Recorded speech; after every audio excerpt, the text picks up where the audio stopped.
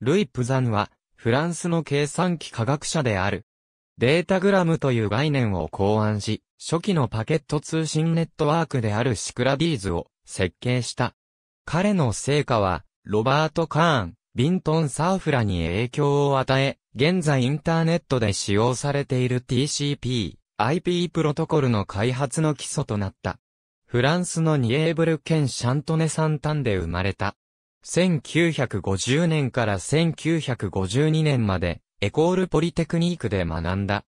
プザンは CTSS の設計に参加し、1963から64年頃に、ランコムと呼ばれるプログラムを書いた。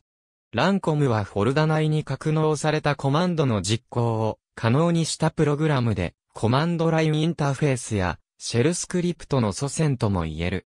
実のところプザンは1964年か65年にコマンドライン言語をシェルと名付けた当人だという。プザンのコンセプトは後にマサチューセッツ工科大学のグレンダ・シュローダーによってムルティックスに実装された。シュローダーのムルティックスシェルはユニックスシェルの前身であり、それは今日でも使用されている。1967年から1969年まで、フランス気象局のための CDC6400 を使用したオペレーティングシステムを開発した。このシステムは天気予報と統計のために作られたもので15年間使用された。1971年から6年間、先駆的なネットワークプロジェクトであるシクラディーズを指揮した。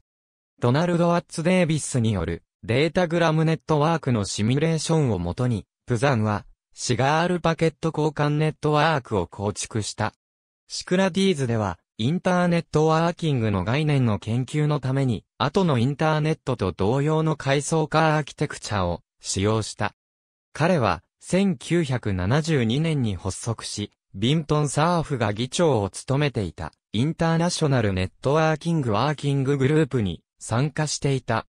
ボブ・カーンとサーフが1974年に発表したインターネットワーキングのプロトコルに関する論文 A プロトコルフォーパケットネットワークインターコミュニケーションの中でプザンの成果について触れている。2002年、プザンはジーン、ルイス・グレインジ、ジーン、ピエール・ヘネのジーン、フランソワ・モーフィンと共にドメイン名の多言語化を推進する非営利団体であるユーロリンクの設立に参加した。2003年6月、ユーロリンクは世界情報社会サミットに参加した。2011年11月、シャンタル・リブリューメント、クエンティン・ペリガーと共に、オルタネートルートを運営する組織サボア・フェールを設立した。